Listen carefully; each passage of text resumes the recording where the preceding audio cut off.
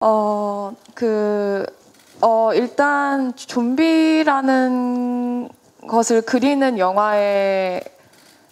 하게 됐다는 거에 대한 대- 굉장한 기대가 있었어요. 그 저는 사실 어, 배우 일을 한 지 얼마 되지 않아서 예산에 대한 감이 별로 없습니다. 그래서 어, 저 박소진은 되게 막 징그럽고 짐승 같고 막 이런 표현들을 하는 좀비 좀비의 몸짓들을 되게 많이 생각해서 갔는데 뭐 우리, 우리가 되게 고퀄이다라고 말하는 좀비는 아닐 수 있으나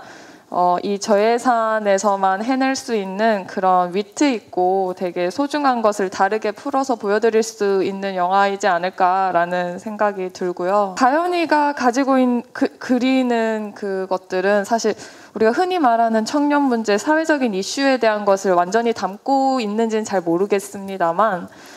어, 저 개인적으로 생각하기에는 요즘은 청년들이 마음이 많이 어, 마음이 많이 힘든 시대이고 유난히 몸도 바쁘다 바빠 현대 사회지만 어 그리고 그래서 가연이가 되게 세상